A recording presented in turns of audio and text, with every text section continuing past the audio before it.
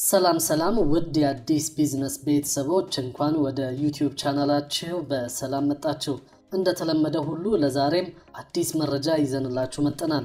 ለዛሬም በርካታ ቅርሶች በስጦታ ዕቃዎች ስም እየተቸበቸቡ ስለመሆኑ በተመለከተ መረጃ ይዘንላችሁ መጥተናል። አብራችሁን ከቆያችሁ መረጃዎቹን በዝርዝር እናቀርብላችኋለን። ለዩቲዩብ ቻናላችን አዲስ ከሆናችሁ ደግሞ ከቢዝነስ ጋር በተያያዙ ጉዳዮች ላይ ስለምንሰራ ቤተሰብ እንድትሆኑ በዚሁ አጋጣሚ በትህትና እንጠይቃለን። ዝርዝር መረጃውን ልንገራችሁ፣ አብራችሁን ቆዩ።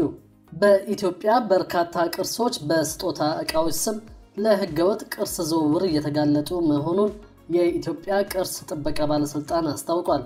ሕገወጥ የቅርስ ዝውውር መከላከል ቀን በሚል በዓለም አቀፍ ደረጃ እየተከበረ ይገኛል። የኢትዮጵያ ቅርስ ጥበቃ ባለሥልጣን ምክትል ዋና ዳይሬክተር ወይዘሮ ሕይወት ኃይሉ በኢትዮጵያ በርካታ ቅርሶች ለህገወጥ ዝውውር እየተጋለጡ ነው ብለዋል። በመሆኑም ህገወጥ የቅርስ ዝውውርን ለመቆጣጠርና ለመከላከል ህብረተሰቡ፣ የፍትህ ተቋማትና ሌሎች ባለድርሻ አካላት በትብብር መስራት አለባቸው ብለዋል። ቅርሶች በባህላዊ ስጦታ ዕቃዎች ስም ላልተገባ ተግባርና ለዝርፊያ እየተጋለጡ መሆኑን ገልጸው ህብረተሰቡ በቅርሶች ዙሪያ ያለውን ግንዛቤ ማሳደግ ይገባዋል ብለዋል። በህገወጥ አዘዋዋሪዎች ከመዘረፋቸው በተጨማሪ የቅርስ ግንዛቤ በሌላቸው የህብረተሰብ ክፍሎች ጉዳት እየደረሰባቸው መሆኑም ተገልጿል። በቦሌ ዓለም አቀፍ አውሮፕላን ማረፊያ እንዲሁም በሌሎች የፍተሻ ጣቢያዎች የሚመደቡ የፍተሻ ባለሙያዎች የቅርስ እውቀት ያላቸው ሊሆኑ ይገባልን ብለዋል። መንግስት ህገወጥ የቅርስ ዝውውርን ለመከላከልና ህብረተሰቡ ስለ ቅርስ ያለውን ግንዛቤ ለማሳደግ አሰራር ዘርግቶ እየተንቀሳቀሰ መሆኑንም ገልጸዋል። ከዚህም ባሻገር በተለያዩ ምክንያቶች ከሀገር የወጡ ቅርሶችን ለማስመለስ እንቅስቃሴ እያደረገ መሆኑንም ገልጸዋል። የባለስልጣኑ የቅርስ ጥበቃና ክትትል ዳይሬክተር አቶ ደሳለኝ አበባው ቅርሶችን በአግባቡ የመመዝገብ ስራው በሚፈለገው ልክ አለመሆኑ ህገወጥ ዝውውሩን አባብሶታል ብለዋል።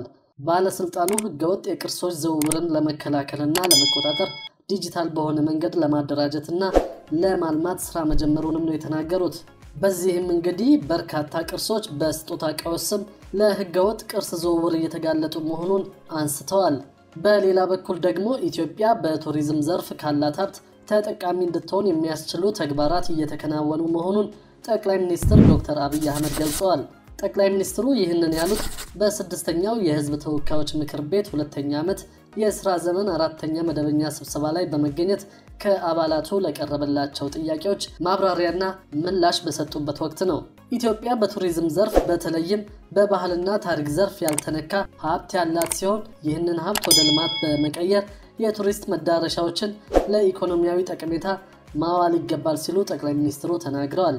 ኢትዮጵያም በቱሪዝም ዘርፍ ካላት ሀብት ባሻገር ሰፊ ዕድልም እንዳላት ማሳያዎች እንዳሉ ገልጸዋል። ኢትዮጵያ በተያዘው ዓመት በሀገር ውስጥ ቱሪዝም 8 በመቶ እድገት ማስመዝገቧን ገልጸው ይህም ያላትን ሀብት ወደ ጥቅም የማዋሉ ስራ ተስፋ እንዳለው ያመላከተ ነው ብለዋል። በቀጣይም ሳቢ ቦታዎችን በመለየት የተወዳዳሪነትን አቅም በመፍጠርና የማስተዋወቅ ስራዎችን በስፋት በመስራት ላይ መሆናቸውን አብራርተዋል። ከነዚህ የቱሪዝም ቦታዎች ተጠቃሚ ለመሆን የነበሩ ታሪካዊ ቦታዎችን የመጠገንና የማደስ ስራዎችን እየተሰራ መሆኑንም አንስተዋል። ባህል፣ ታሪክ ታይተው የማይጠገቡ ቦታዎች አሉን። የቱሪዝም ሀብቷ የሰፋ ሀገር አጥብቃ ቱሪዝም ላይ መስራቷ አስፈላጊ ነው ብለዋል። አንድነት ፓርክ የነበሩትን በአዲስ መልክ የመቃኘት ምሳሌ ነው። ኢትዮጵያ የቱሪዝም ሀብቷን የምትጠቀመው የነበረን በመጠገን ብቻ ሳይሆን አዳዲስ ግንባታዎችን በመስራትም ጭምር ነው ብለዋል። ለምሳሌ ጎርጎራ ዳጋ ላይ መጠነ ሰፊ ታሪክ እናያለን። ደቂቀ እስጢፋኖስም እንዲሁ ጎርጎራ ሄዶ ጎብኚ ታሪክ ይማራል። በአማረ ቦታ ያርፋል። በአቅራቢያው ያሉ ከተሞች ጋርም ይሄዳል። ሀላላ ኬላ እየተጠናቀቀ ነው። ቤኑናም እያለቀ ነው። ሁሉም በየጊዜያቸው እየተመረቁ ለሕዝብ ክፍት ይሆናሉ ብለዋል ጠቅላይ ሚኒስትሩ። አገልግሎት አሰጣጥ ደግሞ ከግንባታው ጎን ለጎን በስልጠና ሊያድግ ያስፈልጋልን ብለዋል። አዲስ አበባ መተላለፊያ ሳትሆን ማረፊያ መሆን አለባት ብለን እየሰራን ነው ብለዋል።